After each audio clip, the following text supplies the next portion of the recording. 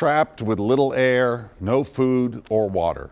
A dog with a plastic container stuck on its head was rescued by animal advocates Thursday. And as News Channel 5's Kyle Horan learned, the dog went for days in desperate need of help. Oh, we can't wait. These were clearly terrifying moments before this dog was saved from suffocation and dehydration. It's okay, sweetheart. Praise the Lord. No one really knows how the two year old retriever mix got the jug stuck on her head.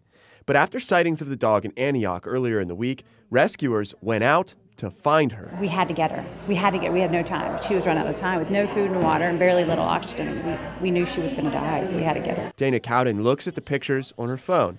She and others found the dog in the woods. They put a leash on her and rushed to get her head out of the jug.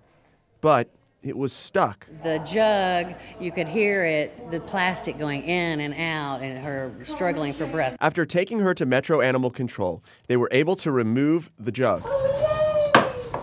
The four women who were all part of the rescue went to visit the dog they've now nicknamed Cookie. She's still a little scared, but out of danger and has food and water. Perhaps this is a cautionary tale about leaving out your trash. Definitely want to keep your trash in bags, not laying around property. Cookie is now being evaluated and could be soon up for adoption, as long as there's no one out there who can claim her. So we hope that someone will come forward. We're trying to get the word out, uh, but if not, we want to make sure that she gets a good home. Kyle Horan, News Channel 5.